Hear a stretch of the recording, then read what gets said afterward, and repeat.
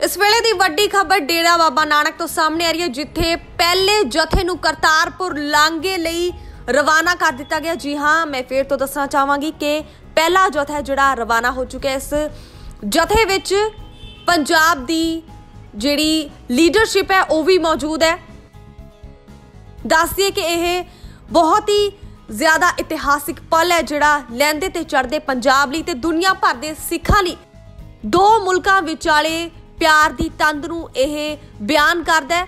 ਭਾਰਤ ਪਾਕਿਸਤਾਨ ਦੇ ਰਿਸ਼ਤੇ ਨੂੰ ਹੋਰ ਬਿਹਤਰ ਬਣਾਊਗਾ। ਕਰਤਾਰਪੁਰ ਸਾਹਿਬ ਦਾ ਲਾਂਘਾ ਪਹਿਲਾ ਜਥਾ ਰਵਾਨਾ ਹੋ ਚੁੱਕਿਆ ਹੈ ਤੇ ਉੱਥੇ ਹੀ ਦੂਜੇ ਪਾਸੇ ਕਰਤਾਰਪੁਰ ਸਾਹਿਬ ਵਿਖੇ ਸਵਾਗਤ ਲਈ ਇੰਤਜ਼ਾਰ ਕੀਤਾ ਜਾ ਰਿਹਾ ਹੈ।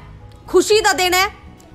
ਦੱਸੀ ਕਿ ਪਹਿਲੇ ਜਥੇ ਵਿੱਚ ਨਵਜੋਤ ਸਿੰਘ ਸਿੱਧੂ, ਕੈਪਟਨ ਅਮਰਿੰਦਰ ਸਿੰਘ ਅਤੇ ਡਾਕਟਰ ਮਨਮੋਹਨ ਸਿੰਘ ਵੀ ਸ਼ਾਮਿਲ ਨੇ ਅਤੇ ਇਸ ਤੋਂ ਇਲਾਵਾ ਪੰਜਾਬ ਦੀ ਜਿਹੜੀ ਲੀਡਰਸ਼ਿਪ ਹੈ, ਚਾਹੇ ਉਹ ਆਮ ਆਦਮੀ ਪਾਰਟੀ ਹੋਵੇ ਬੀਜੇਪੀ ਹੋਵੇ, ਅਕਾਲੀ ਦਲ ਹੋਵੇ ਜਾਂ ਕਾਂਗਰਸ ਹੋਵੇ, ਇਹਨਾਂ ਸਾਰੀਆਂ ਪਾਰਟੀਆਂ ਦੇ ਨੁਮਾਇੰਦੇ ਵੀ ਪਹਿਲੇ ਜਥੇ 'ਚ ਸ਼ਾਮਿਲ ਨੇ, ਆਪਣੇ ਪਰਿਵਾਰਾਂ ਸਮੇਤ ਉਹ ਪਹੁੰਚੇ ਨੇ।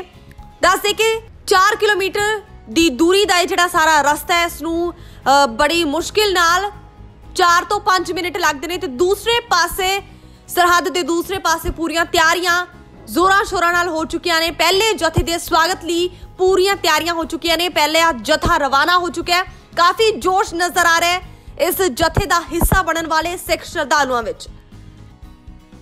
Bureau report, channel Punjabi. ਸਾਡਾ ਹਰ ਇੱਕ ਪ੍ਰੋਗਰਾਮ ਦੇਖਣ ਤੇ ਸਾਡੇ ਨਾਲ ਜੁੜਨ ਲਈ ਸਬਸਕ੍ਰਾਈਬ ਕਰੋ। ਚੈਨਲ ਪੰਜਾਬੀ ਤੇ ਨੋਟੀਫਿਕੇਸ਼ਨ ਲਈ ਬੈਲ ਆਈਕਨ ਵਾਲੇ ਬਟਨ ਤੇ ਕਲਿੱਕ ਕਰੋ।